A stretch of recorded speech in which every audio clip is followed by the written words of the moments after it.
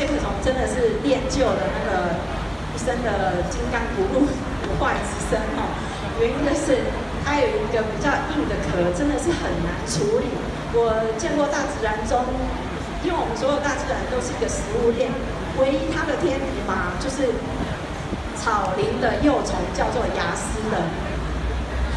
略小小的像甲虫一样，有两只螯，它会把介壳虫整个夹住翻过来，然后咬死它腹部最柔软的地方。但是呢，草林的幼虫，说真的，它是属于一个非常娇贵的一些虫，而且非常不好养，所以呢，我们只好，呃，大自然方法没有办法的话，我们就只好用人为的方法来处理它。再来介绍一个蚂蚁呢，蚂蚁的方式呢，就是。奥厨，奥厨里面的成分主要就是硼酸。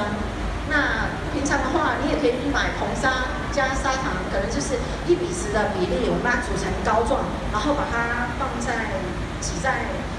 那个蚂蚁经常会经过的地方。那么为什么它会稍微有效？原因就是，其实它硼砂可能呃蚂蚁吸食之后，有时候它把它。留在腹腔里面，带回它的蚂蚁巢去供给一些幼虫食用，所以一整窝的蚂蚁比较容易去那个，就是不是光只有单独说，哎，我今天来这只蚂蚁来吃，我这只死掉，不是，它会有一个链链锁效应。那还有就是，呃，其实哦，大家可以看到我的报告里面下面有一个红字小字，其实我希望尽量不要让你们看到，因为这个是我明晃晃的小抄啦。然后，呃，当然我们有时候讲说怎么去除蚂蚁哈，当然还有一个方式就是指导黄龙，一定要把蚂蚁窝给处理掉。那你可能盆栽，我们的盆栽里面可能都会有一些蚁窝，那蚁窝处理的方式呢，就是我一般都会把它拿到水里面去浸泡。那你丢到水里头去的时候，它就一直冒泡泡，那就是蚁窝里面的气势。然后我们尽量让它泡泡整个一直到消灭不见，这样子表示说我们的水已经进入到它的气室，让那些躲在里面的蚂蚁呢没办法再做一些呼吸动作，然后渐渐慢慢的超过三十分钟以后，就让它淹死。那我来讲一个那个共生关系，我们。蚜虫哦，跟蚂蚁有共生关系，介壳虫跟蚂蚁也有共生关系，所以呢，为什么蚜虫跟介壳虫会危害的特别严重？就是共生的关系，还有就是蚜虫跟介壳虫，他们会从他们的他们的排泄口去分泌所谓的蜜露，那蜜露呢，就是呃。蚂蚁最爱的食甜食了，那所以呢，蚂蚁又经常为了确保说，哎，它的食物来源源源不绝，所以它很喜欢种。你们看它的图了，蚂蚁本来就爱搬搬东西，也喜欢搬家。那它会把蚜虫从这棵树搬到另外一棵树，不停的搬。剑壳虫也是一样，一直搬。所以你不要觉得说我这棵树有，然后我不去消灭蚂蚁，我只处理蚜虫跟剑壳虫。是什么情况？当然就是呃源源不绝，还是如果没有把蚂蚁消灭掉的话，你这几种的小型虫害真的没有办法杜绝掉。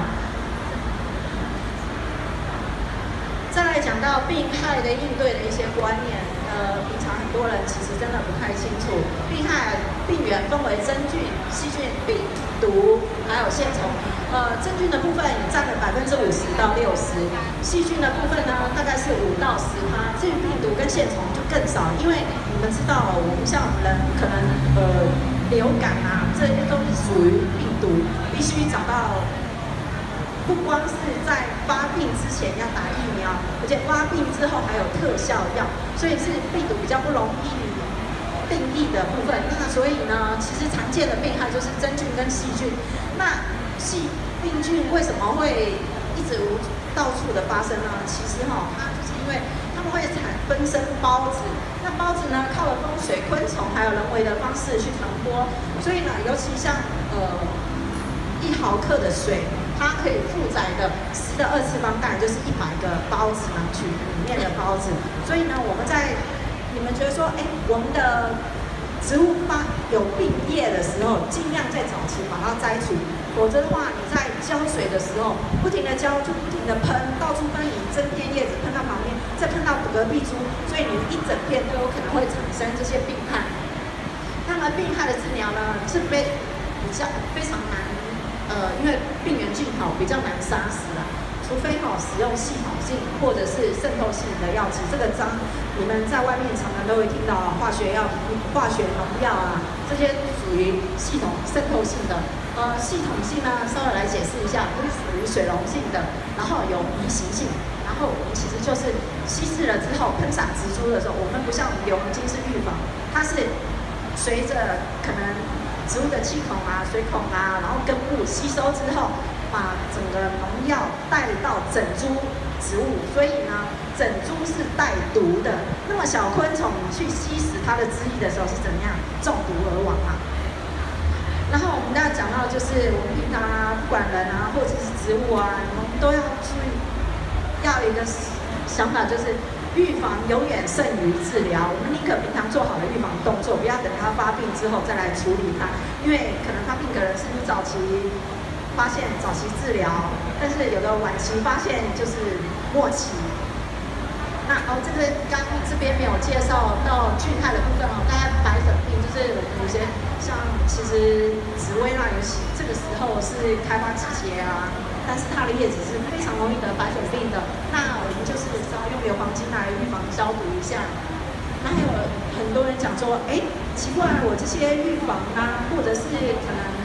处理治疗方式我都做了，为什么呢？